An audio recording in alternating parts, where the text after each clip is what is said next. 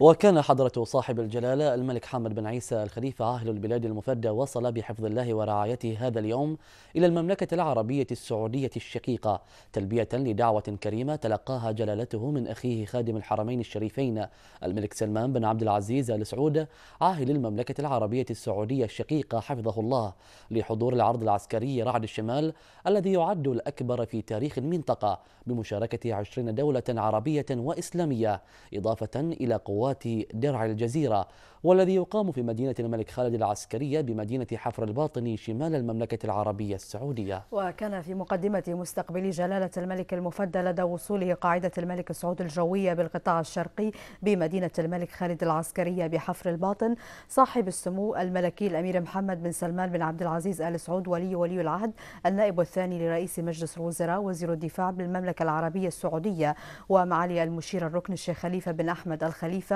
القائد العام لقوة دفاع البحرين وسعادة الشيخ حمود بن عبد الله الخليفة سفير مملكة البحرين لدى المملكة العربية السعودية وكبار ضباط قوة دفاع البحرين وعدد من المسؤولين السعوديين من مدنيين وعسكريين. وقد توجه حضرة صاحب الجلالة الملك المفدى إلى مسجد الضيافة حيث صافح جلالته أخوه خادم الحرمين الشريفين الملك سلمان بن عبد العزيز آل سعود عاهل المملكة العربية السعودية. فيضه الله ورعاه وإخوانه أصحاب الجلالة والفخامة والسمو وممثلي الدول المشاركة في التمرين والعرض العسكري رعد الشمال وقد أدى الجميع صلاة الجمعة.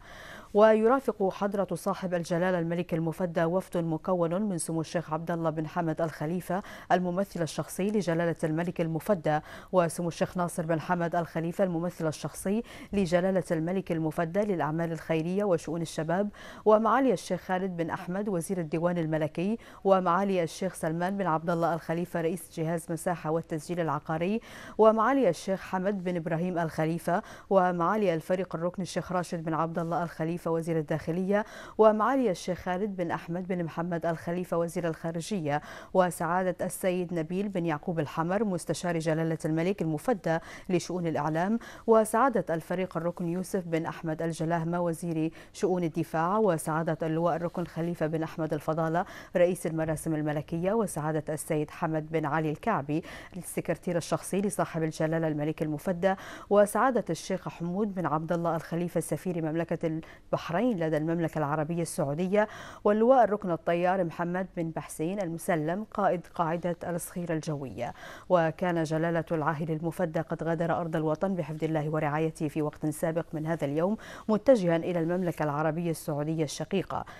رافقت جلالة الملك المفدى السلامة في الحل والترحال.